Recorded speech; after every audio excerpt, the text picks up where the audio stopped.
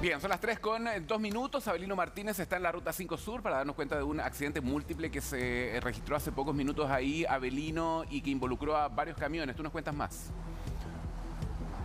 Muy buenas tardes, eh, Karim Viviana. Seis eh, vehículos en total involucró este accidente, tres camiones y tres eh, vehículos menores. Lamentablemente hay seis personas heridas. Esto ocurrió cuando faltaban pocos minutos para la una de la tarde en la ruta 5 en dirección hacia el sur en el sector de Paine.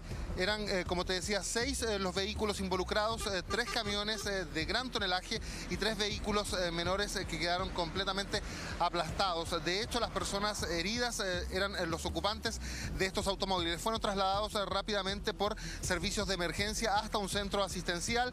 Tenemos entendido que hay algunos heridos de gravedad y otros heridos leves.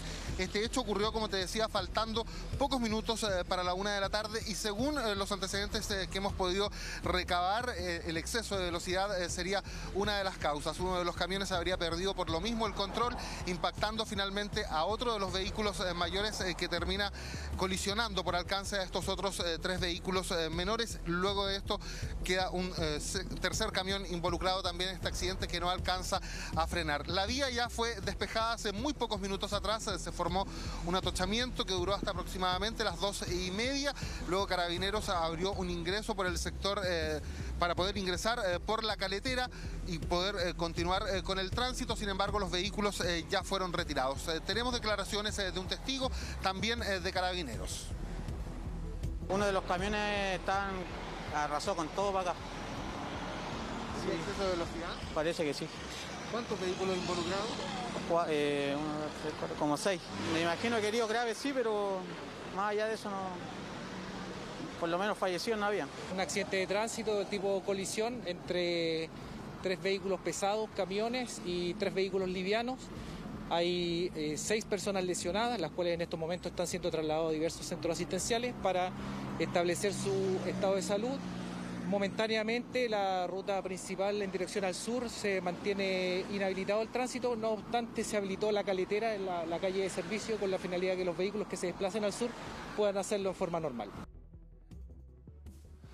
Lamentablemente no es el único accidente de tránsito que se ha registrado en las últimas horas en el ingreso al acceso sur por Américo Vespucio. Otro camión también volcó cuando iba precisamente ingresando por el túnel hacia el acceso sur.